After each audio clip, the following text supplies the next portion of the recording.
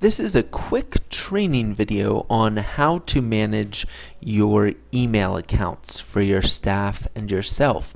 Um, uh, once you log into the control panel, this is what you're going to see. You're going to click right here on Email Accounts.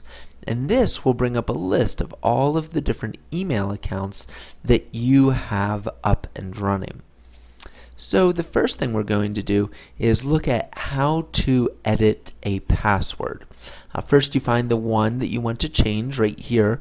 We're looking at Charles M. And you would simply click here and go in and type in your new password.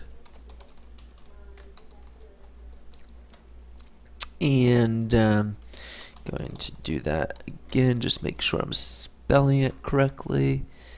Yes. So I enter in my new password and um, it will tell you how strong it is.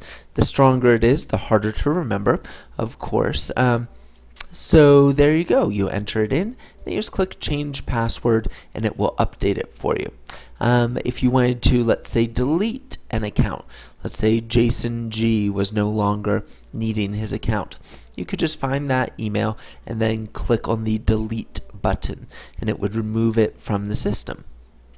If you want to create a new account, let's say you just hired John Doe, uh, you would just type in the email at HomeGuard Restoration, then enter his password, and um, then you would simply click create account and that would automatically create the account with that username, that password in the system.